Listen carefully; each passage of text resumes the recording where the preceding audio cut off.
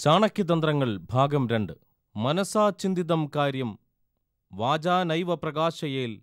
മന്ത്രേണ രക്ഷയേദ്ഗൂഢം കാര്യേ ചാപി നിയോജയേൽ ഭാവിയിൽ എന്തൊക്കെ കാര്യങ്ങൾ ചെയ്യണം? അതിനുള്ള പദ്ധതികൾ എന്ത്? തുടങ്ങിയ കാര്യങ്ങൾ നാം പലപ്പോഴും മറ്റുള്ളവരോട് ചർച്ച ചെയ്യുകയും വെളിപ്പെടുത്തുകയും ചെയ്യാറുണ്ട്. മറ്റുള്ളവരോട് നമ്മുടെ രഹസ്യങ്ങളും പദ്ധതികളും പറയരുതെന്നാണ് ഗുരു ചാണക്യൻ ഈ ശ്ലോകത്തിലൂടെ നമ്മെ ഉപദേശിക്കുന്നത്. ഓരോ പദ്ധതികളും നടപ്പാക്കാൻ ഓരോ സമയമുണ്ട്. ആ സമയമാകുന്നതുവരെ ആ പദ്ധതികളും രഹസ്യങ്ങളും മനസ്സിൽ സൂക്ഷിക്കുകയും കാലാനുസൃതമായി സാഹചര്യങ്ങൾക്കനുസൃതമായി മാറ്റങ്ങൾ വരുത്തി പദ്ധതികൾ നടപ്പിലാക്കണം എന്ന് ചാണക്യൻ നമ്മെ ഉപദേശിക്കുന്നു. എന്ത് കാര്യമാണെങ്കിലും അവ തുടങ്ങുന്നതിനു മുമ്പ് വളരെയധികം പഠനം ആവശ്യമാണ്. ഈ പഠനത്തിനു ശേഷം അനുകൂല സാഹചര്യം വരുമ്പോൾ ആവശ്യമായ മാറ്റങ്ങൾ വരുത്തി ഇവ നടപ്പാക്കണം.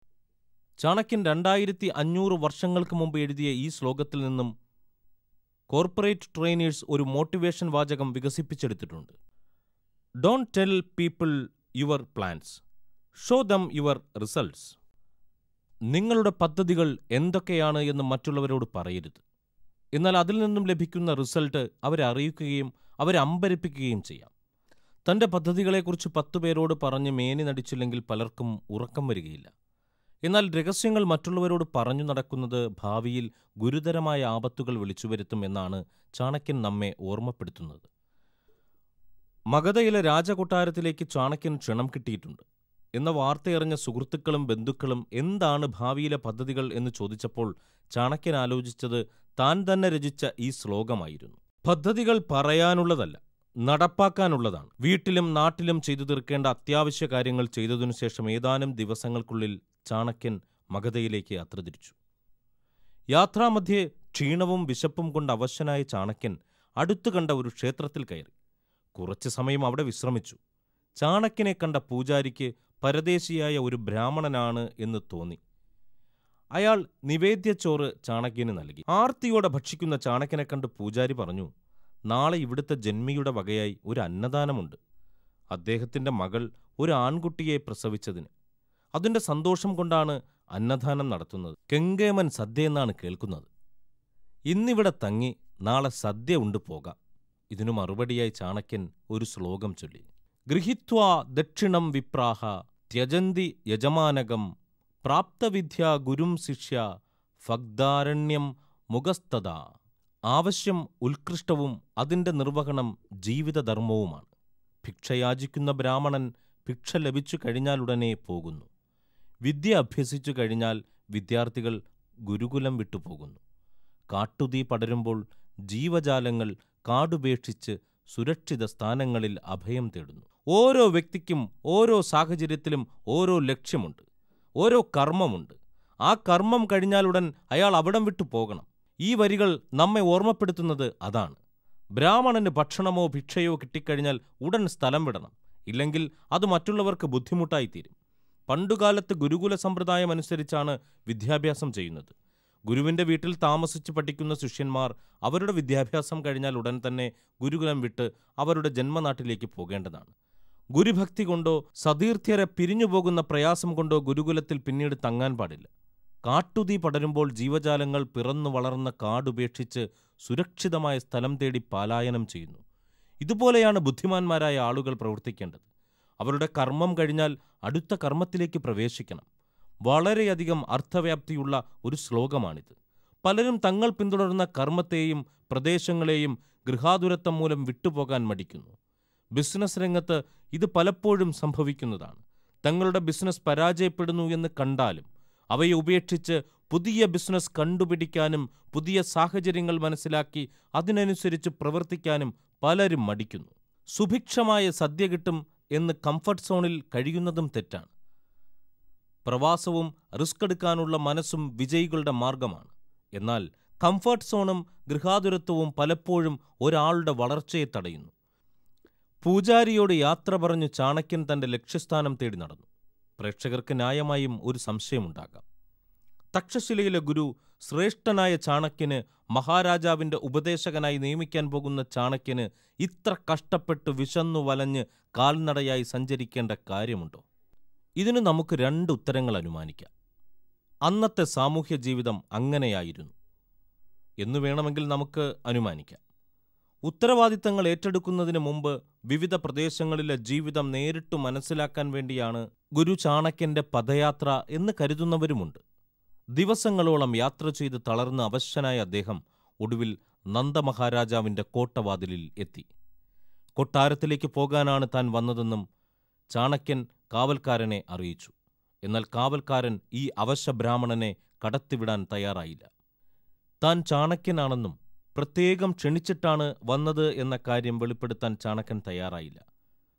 എങ്ങനെയാണ് രാജാവിന്റെ ഉദ്യോഗസ്ഥൻ പെരുമാറുന്നതെന്ന് രഹസ്യമായി പഠിക്കണം എന്ന ഉദ്ദേശം കൂടി അദ്ദേഹത്തിനുണ്ടായിരുന്നു. വളരെ നേരത്തെ തർക്കത്തിനുശേഷം ഒടുവിൽ കാവൽക്കാരൻ ചാണക്യന് അകത്തേക്ക് കടക്കാൻ അനുവദിച്ചു. പക്ഷെ ഒരു വ്യവസ്ഥ അയാൾ മുന്നോട്ട് വച്ചു. ബ്രാഹ്മണർക്ക് രാജാവ് വസ്ത്രങ്ങളും സ്വർണ നാണയങ്ങളും ദാനം ചെയ്യുന്ന പതിവുണ്ട്. നിങ്ങൾക്ക് മഹാരാജാവിന്റെ കയ്യിൽ നിന്നും എന്ത് സമ്മാനം കിട്ടിയാലും അതിന്റെ പകുതി എനിക്ക് കൈക്കൂലിയായി നൽകണമെന്ന് കാവൽക്കാരൻ ആവശ്യപ്പെട്ടു. ചാണക്യൻ സമ്മതിച്ചു. കോട്ടയ്ക്കുള്ളിൽ കടന്ന് ചാണക്യൻ കൊട്ടാരം ലക്ഷ്യമാക്കി നടന്നു. കൊട്ടാരത്തിലേക്കുള്ള പ്രവേശന കവാടത്തിന്റെ മുൻപിലും ആയുധധാരിയായ ഒരു കാവൽക്കാരൻ നിൽപ്പുണ്ടായിരുന്നു. കൊട്ടാര ദ്വാരപാലകനും ചാണക്യനെ അകത്തേക്ക് കടത്തിവിടുന്നതിൽ കൈക്കൂലി ആവശ്യപ്പെട്ടു. തനിക്ക് കിട്ടുന്നതിന്റെ പകുതി അയാൾക്കും കൊടുക്കാമെന്ന് ചാണക്യൻ വാഗ്ദാനം നൽകി. രാജ്യത്തെ ഗ്രസിച്ചിരിക്കുന്ന ഏറ്റവും വലിയ ശാപം അഴിമതിയാണ് എന്ന് ചാണക്യൻ മനസ്സിലാക്കി. മഹാരാജാവ് താമസിക്കുന്ന കൊട്ടാരത്തിൽ ഇതാണ് സ്ഥിതിയെങ്കിൽ പുറത്തുള്ള അവസ്ഥ എന്തായിരിക്കും? പരദ്രവ്യാപഹരണം ആത്മദ്രവ്യ വിനാശഹേതു. പരദ്രവ്യ അപഹരണം ആത്മദ്രവ്യത്തിന്റെ വിനാശത്തിന് ഹേതുവാണ്. മോഷണം പിടിച്ചുപറി കൈക്കൂലി തുടങ്ങി വിവിധ മാർഗങ്ങളിൽ കൂടി മറ്റുള്ളവരുടെ പണം വഞ്ചിച്ച് കൈക്കലാക്കുന്നത് വലിയ പാപമാണ്. കൈക്കൂലി അവസാനിപ്പിക്കുക. കൈക്കൂലി വാങ്ങുന്നവർക്ക് തക്കതായ ശിക്ഷ വാങ്ങിക്കൊടുക്കുക തുടങ്ങിയവയാണ് തന്റെ ആദ്യത്തെ കർത്തവ്യം എന്ന് ചാണക്യൻ തീരുമാനിച്ചു. കൊട്ടാരത്തിലെത്തിയ ചാണക്യൻ പ്രധാനമന്ത്രിയായ അമത്യ രാക്ഷസനെ സന്ദർശിച്ചു. തന്റെ ക്ഷണം സ്വീകരിച്ച് എത്തിയ ചാണക്യൻ അദ്ദേഹം ആദരപൂർവം വരവേൽക്കുകയും മഹാരാജാവിന്റെ മുൻപിൽ ഹാജരാക്കുകയും ചെയ്തു. മഹാരാജാവായ നന്ദൻ ചാണക്യനെ ആപാത ചൂടം ഒന്നു നോക്കി. ഈ അവശ്യബ്രാഹ്മണൻ തന്നെ എന്തുപദേശിക്കാനാണ്? രാജാവ് ചിന്തിച്ചു. ചാണക്യന്റെ രൂപവും ഭാവവുമെല്ലാം കണ്ട് മഹാരാജാവിന് ചാണക്യൻ എന്തെങ്കിലും ഉപഹാരങ്ങൾ നൽകി പറഞ്ഞയക്കണം എന്നാണ് തീരുമാനിച്ചത്. ചാണക്യനെ ഒന്ന് പരീക്ഷിക്കുവാൻ നന്ദമഹാരാജാവ് തീരുമാനിച്ചു. ബഹുമാന്യനായ ഈ ബ്രാഹ്മണന് ഉചിതമായ രാജസമ്മാനങ്ങൾ നൽകി ആദരിക്കുവാൻ നാം തീരുമാനിച്ചിരിക്കുന്നു. ബ്രാഹ്മണരെ ആദരിക്കുകയും സമ്മാനങ്ങൾ നൽകി ബഹുമാനിക്കുകയും ചെയ്യുക എന്നത് നന്ദവംശത്തിന് പാരമ്പര്യമാണ്. അങ്ങക്ക് എന്താണ് ആവശ്യമുള്ളത്? മടിക്കാതെ ചോദിച്ചോളൂ. രാജാവ് കൽപ്പിച്ചു. രാജാവിന്റെ പരിഹാസം ചാണക്കിനു മനസ്സിലായി. എങ്കിലും അനിഷ്ടം പുറത്തു കാണിക്കാതെ ചാണക്യൻ വിനീതനായി. പ്രഭു എനിക്ക് സമ്മാനമായി വേണ്ടത് ചാട്ടവാറുകൾ കൊണ്ടുള്ള നാൽപ്പതടിയാണ് ചാണക്യന്റെ ആവശ്യം കേട്ട മഹാരാജാവും രാജസദസ്സിലുള്ളവരും അമ്പരന്നു. ഈ ബ്രാഹ്മണന് ഭ്രാന്താണോ? ഇത്തരത്തിലുള്ള ഭ്രാന്തന്മാരെയാണോ തന്റെ ഉപദേശകനായി അമത്യാരാക്ഷസൻ തന്റെ മുന്നിൽ ഹാജരാക്കിയിരിക്കുന്നത്? ഒന്നും പറയാതെ പരിഹാസത്തോടെ മഹാരാജാവ് അമത്യാരാക്ഷസനെ ഇരുത്തി നോക്കി. പ്രധാനമന്ത്രിയായ അമത്യാരാക്ഷസൻ ആദ്യമൊന്ന് അമ്പരുന്നു. അദ്ദേഹം ചാണക്യനോട് ചോദിച്ചു അങ്ങ് എന്താണ് ആവശ്യപ്പെടുന്നത്? ചാട്ടവാർ കൊണ്ടുള്ള നാൽപ്പത് അടി തന്നെയാണോ അങ്ങ് ആവശ്യപ്പെട്ടത്? അതെ നാൽപ്പത് അടിയാണ് ഞാൻ രാജാവിൽ നിന്നും സമ്മാനമായി ആഗ്രഹിക്കുന്നത്. കിട്ടുന്ന സമ്മാനത്തിന്റെ പകുതി കോട്ടവാതിൽ പാറാവുകാരനും പകുതി കൊട്ടാരം കാവൽക്കാരനും നൽകാമെന്ന് ഞാൻ വാഗ്ദാനം ചെയ്തിട്ടുണ്ട്. എന്നെ കടത്തിവിടുന്നതിനു പകരമായി ഈ കൈക്കൂലി അവർ ആവശ്യപ്പെട്ടതാണ്. പ്രഭോ എനിക്കു നൽകുന്ന ഈ സമ്മാനം പാറാവുകാർക്ക് തുല്യമായി വീതിച്ചു നൽകുവാൻ ഉത്തരവുണ്ടാകണമെന്ന് അപേക്ഷിക്കുന്നു. കാര്യത്തിന്റെ ഗൗരവം മനസ്സിലാക്കിയ മഹാരാജാവ് കൈക്കൂലി ആവശ്യപ്പെട്ട രണ്ടു കാവൽക്കാർക്കും ഇരുപത് അടി വീതം ശിക്ഷയായി നൽകുവാൻ തീരുമാനിച്ചു. യഥാധേനു സഹസ്രേഷു വത്സോ ഗച്ഛന്തി മാതരം തഥാ യച്ഛകൃതം കർമ്മ കർത്താരം അനുഗച്ഛതി. വളരെയധികം പശുക്കൾ മേയുന്ന ഒരു പുൽമേട്ടിൽ എപ്രകാരമാണോ പശുക്കുട്ടി തന്റെ മാതാവിനെ മാത്രം തിരഞ്ഞ് കണ്ടുപിടിച്ച് എത്തുന്നത് അതുപോലെ എല്ലാ കർമ്മങ്ങളും അതിന്റെ കർത്താവിനെ തിരഞ്ഞ് കണ്ടുപിടിച്ചെത്തുന്നു.